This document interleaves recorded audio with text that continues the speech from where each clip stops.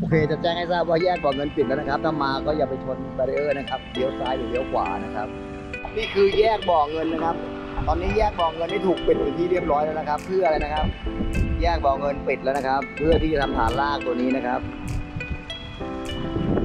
ตัววาง I-Girder ก็วางที่เรียบร้อยแล้วนะครับ ทั้งสองฝั่งเลยนะครับ เหลือเฉพาะตรงกลาง ซึ่งตรงกลางเนี่ยนะครับ เขาต้องจริงๆแล้วเนี่ยตรงนี้ก็อาจจะเป็น วงเวียนก็ได้นะครับ แต่ตอนนี้เขาได้ทุบเอาตัวแอดฟานเดิมออกหมดเลยนะครับ ตรงกลางเนี่ยนะครับ จะต้องตอกเสาเข็มทำฐานรากอีกหนึ่งจุดนะครับ เพราะว่าตรงนี้กับตรงนู้นเนี่ยมันไกลนะครับ ต้องทำฐานรากอีกหนึ่งตัวนะครับ เพื่อที่จะให้สะพานนี้มันสมบูรณ์นะครับ ตอนนี้เขาได้กั้น barrier แล้วก็ให้รถไปยูเทิร์นมานะครับรถคันมาตรงนี้ต้องยูเทิร์นหมดเลยนะครับ วันนี้แยกบ่อเงินปิดแล้วนะครับ ตรงนี้นะครับเขาจะทำเป็นเสาเข็มอีกหนึ่งต้นนะครับ ตรงนี้นะครับก็แจ้งสถานะให้ทราบนะครับสวัสดีครับพี่ๆทุกคนนะครับ ผมนำพี่ๆทุกคนกลับมาที่แยกบ่อเงินอีกครั้งนะครับ ด้านหลังผมนี่คือการติดตั้งตัว I-Girder สำหรับการทำสะพานข้ามแยกบ่อเงินนะครับ ในส่วนของขาที่จะไปอำเภอท่าวุ้งเนี่ยนะครับเขาวางตัว I-Girder แล้วนะครับ ทั้งฝั่งขาเข้าแล้วทะลุไปด้านนู้นเลยนะครับ เดี๋ยวผมพาดูให้ครบลูกเลยนะครับ ตรงส่วนนี้ตัว abutment แรกนะครับฝั่งนี้หนึ่งสองสามสี่ห้าไล่ไปเรื่อยประมาณนู้นนะครับ แล้วก็วิ่งไปฝั่งนู้นนะครับ ตอนนี้ผมมุ่งหน้าไปที่อ่ออำเภอท่าวุ้งนะครับ ทางนู้นนะครับ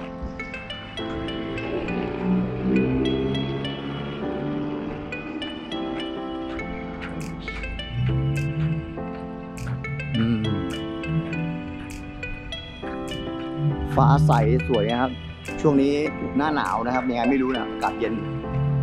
นะครับผมตรงส่วนกลางนี่นะครับเขายังไม่ได้วาง แต่ผม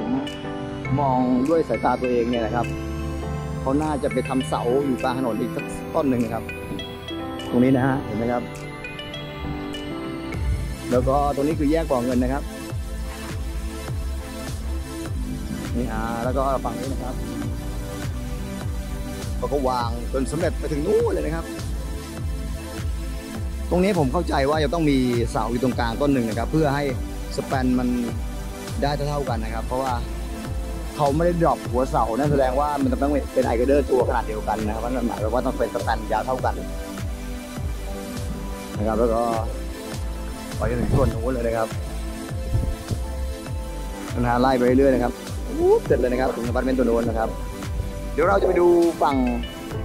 อีกฝั่งนะครับว่าเขาทำอะไรกันบ้างฝั่งนี้เนี่ยวาง I-Girder เรียบร้อยแล้วนะครับ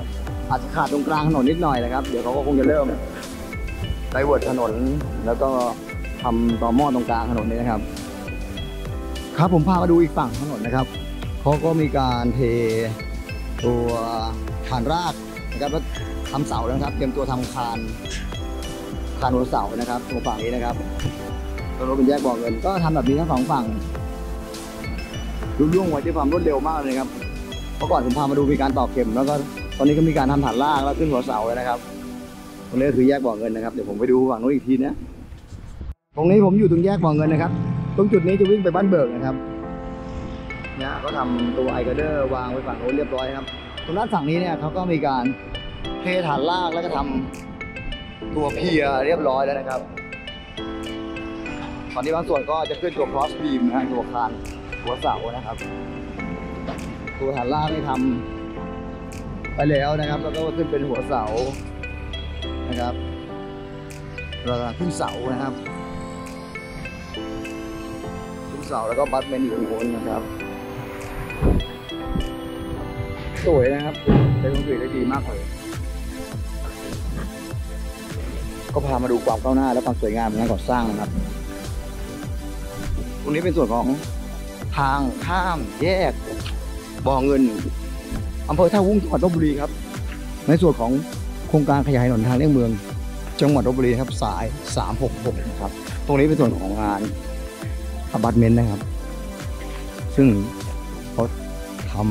ำเอ่อคอนกรีตเกษตรคอนกรีตลีนไม่เรียบร้อยแล้ว ฐานไม่เรียบร้อยแล้ว ตรงส่วนนี้ก็เป็นส่วนของลีน ซึ่งเขาจะตอกเสเข็มปูพรมแล้วก็ตัดตัวเข็มนะครับ แล้วก็ยังคงทำเป็นดัววอลขึ้นมานะครับ โอเคนะครับ นี่คือสถานการณ์ปัจจุบันนะครับ รายงานจากแยกบ่อเงินนะครับ จังหวัดลบบุรีครับ สวัสดีครับมาถึงด้านล่างของตัวไอเฟเดอร์นะครับฝั่ง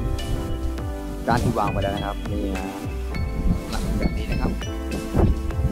เดี๋ยวต่อไปก็ก็จะเริ่ม ตรงส่วนนี้จะมีไดอะแกรมนะครับนะครับตัวไดอะแกรมเพื่อเป็นการล็อกไม่ให้เกิดตัวอันโค้งอันข้างนะครับไดอะแกรมจะมีแรงยืดออกมไดอะแกรมนะครับแล้วเราก็จะวางตัวแบบ precast slab นะครับแล้วก็เริ่มเทท็อปปิ้งนะครับโอเค